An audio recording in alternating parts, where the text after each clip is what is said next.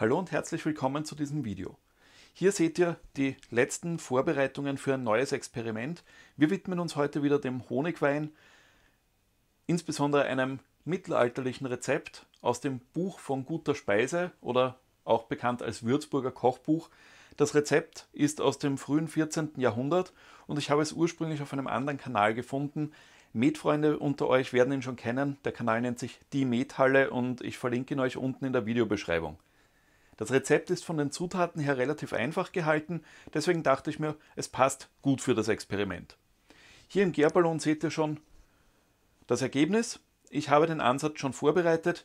Die einzelnen Schritte werde ich euch jetzt nach und nach noch einblenden. Im Hintergrund haben wir das Spezielle daran. Dieser Met wird nämlich Holzfass gelagert.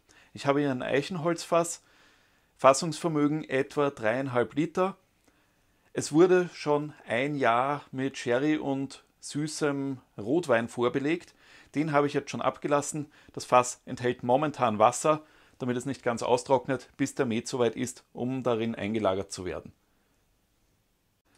Zu den Vorbereitungen des Ansatzes an sich. Wir haben hier 2 Kilo Honig, jeweils 1 Kilo Akazien und 1 Kilo Blütenhonig. Das Rezept sieht an sich 2 Maß Wasser und 1 Maß Honig vor im Originalen wobei ich mir momentan nicht ganz sicher bin, ob Maß ein Gewichts- oder ein Volumenmaß darstellen soll. Im Mittelalter wird ja weniger mit Gewicht als mehr mit Volumen gearbeitet worden sein und Honig hat eine viel höhere Dichte als Wasser, deswegen ist das Verhältnis 2 zu 1 hier wahrscheinlich nicht anzuwenden. Ich werde trotzdem den Standardweg gehen und am Ende hoffentlich ein Verhältnis von zwei Teilen Wasser zu einem Teil Honig haben. Bei 2 Kilo Honig und insgesamt jetzt 6 Litern Flüssigkeit trifft das noch nicht zu. Es wird allerdings noch 1 Kilo Honig wahrscheinlich zum Nachsüßen benutzt werden. Weiter ging es dann mit der Erstellung eines Hopfensuds. In diesem Rezept kommen nämlich Hopfen und Salbei zum Einsatz. 25 Gramm Hopfen sowie 20 Gramm Salbei. Ich wollte die Gewürze nicht auskochen, deswegen habe ich mich dazu entschlossen, eine Art Tee zuzubereiten. Einfach Wasser kochen und danach dann die Gewürze in einem Filterbeutel in dieses Wasser hängen. Die Gewürze hatten 30 Minuten Zeit durchzuziehen, dann habe ich den Filterbeutel wieder entfernt und so einen Gewürztee erhalten. Auch der ist hier im Ansatz mitverarbeitet. Am Ende ging es natürlich noch ans Aufschmelzen des Honigs. Ganz wie gehabt, Honig in Wasser auflösen. Das Wasser darf nicht zu heiß sein. Einfach so warm, dass man gut noch die Hand darunter halten kann. Alles über 40 Grad zerstört zu viele Bestandteile des Honigs und da wäre es sehr schade darum. Letztendlich kam noch ein Liter naturtrüber Apfelsaft zum Einsatz. Ja, mir ist bewusst, dass man das Getränk dann nicht mehr echten Met nennen darf, aber durch die Holzfasslagerung ist dieser Punkt sowieso schon eigentlich vom Tisch.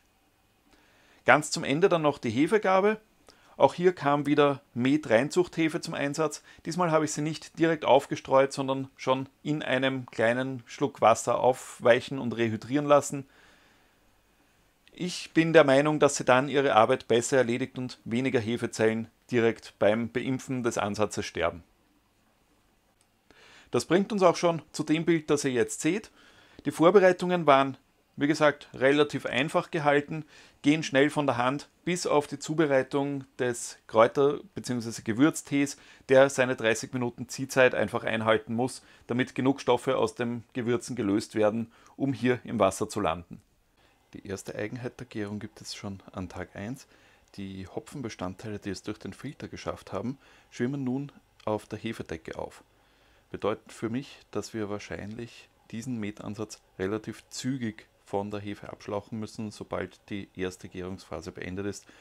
Dann fülle ich ihn in einen neuen Gärbehälter um, denn solche anhaftenden Hopfenharze könnten an der Glaswand als Infektionsgefahr für Schimmel oder Fremdhefen dienen.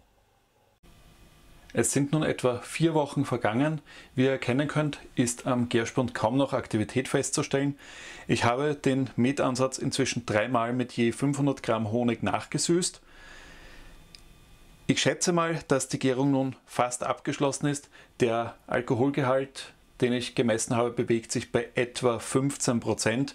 Das wurde wieder mit der Spindel- und Refraktometer-Methode gemessen. Das Vinometer zeigte mir 23% und das ist ein sehr unglaubwürdiger Wert für einen Honigwein.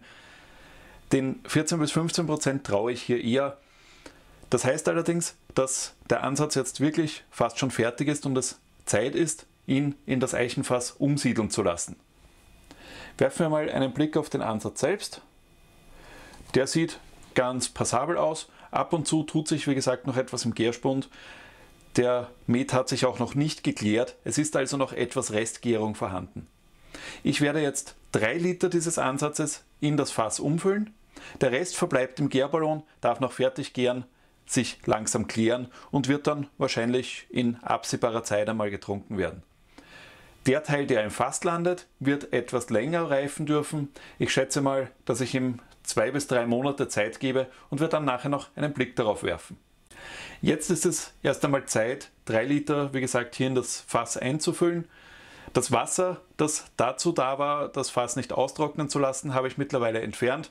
War relativ unspektakulär. Es ist relativ klar herausgekommen, also hat kaum eine Färbung aufgewiesen. Wundert mich auch nicht, das Fass hatte ich ja vorher schon ungefähr ein Jahr lang mit Portwein und süßem Rotwein belegt gehabt, um einmal die starken Holzaromen herauszubekommen. Das Befüllen des Fasses zeige ich jetzt nur exemplarisch mit einem Liter. Das ist ein nicht allzu spannender Prozess und deswegen macht es keinen Sinn, hier die Kamera bei allen drei Litern laufen zu lassen. Wichtig ist, dass ihr darauf achtet, falls euer Fass einen Ablasshahn hat, dass dieser auch gut verschlossen ist, denn sonst plätschert unten einfach alles wieder hinaus. Die Dichtheit des Fasses solltet ihr natürlich im Vorfeld auch geprüft haben.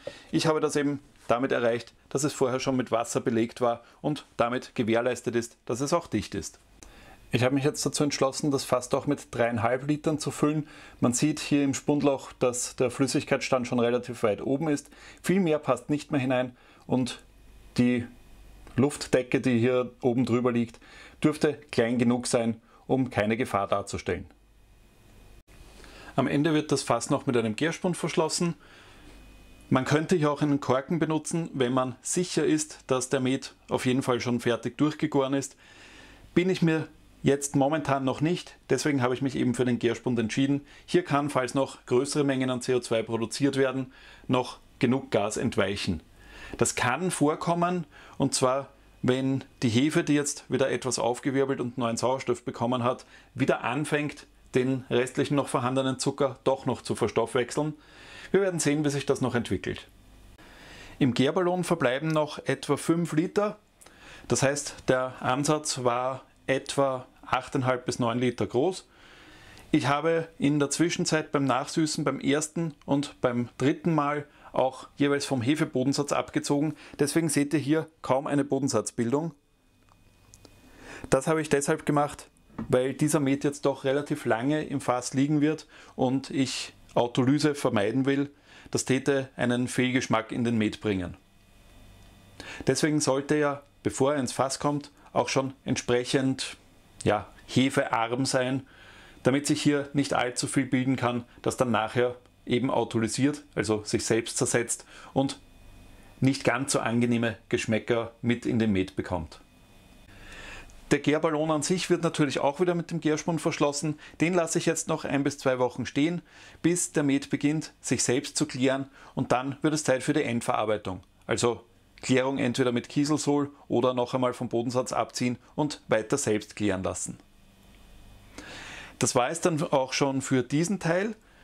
Bis der Met im Eichenfass nun fertig gereift ist, werden zwei bis drei Monate vergehen. Das werde ich jetzt nicht noch abwarten, sondern diesen Teil eben schon im Vorhinein veröffentlichen. Wenn euch das Endergebnis interessiert, würde ich euch empfehlen, den Kanal zu abonnieren. Dann verpasst ihr nicht, wenn das zweite Video zum Honigwein im Eichenfass veröffentlicht wird. Ansonsten hoffe ich, dass euch das Video gefallen hat. Ich bedanke mich fürs Zusehen, wünsche euch noch eine angenehme Woche und bis zum nächsten Mal.